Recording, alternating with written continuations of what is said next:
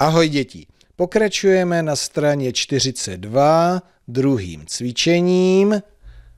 Samostatně si za chvíli přečtěte zadání.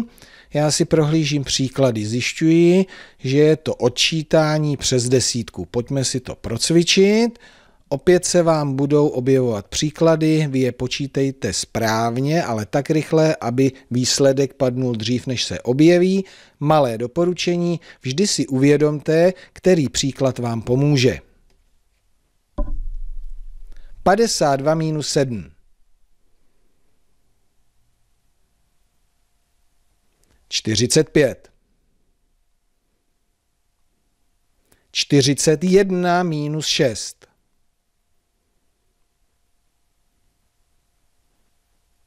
Třicet pět. Padesát osm minus devět. Čtyřicet devět.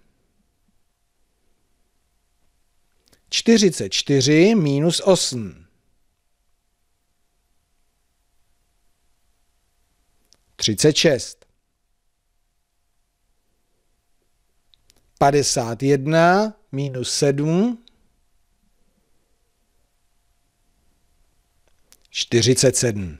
Tak to by byla malá rozcvička. No a vy se samostatně můžete pustit do počítání tohohle příkladu. Prosím, přerušte video, za chvíli si porovnáme řešení.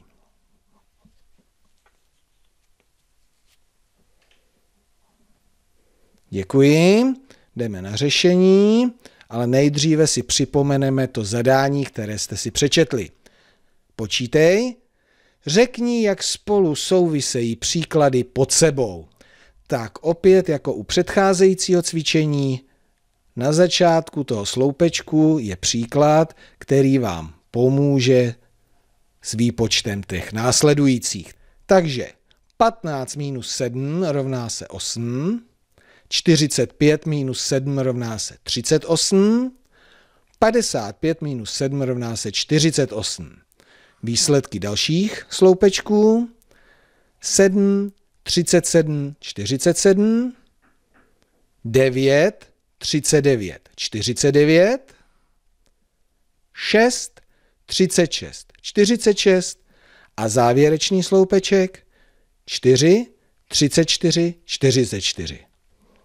Máte? A správně. Skvělé. Začali jste ovládat odčítání do stovky s přechodem desítky.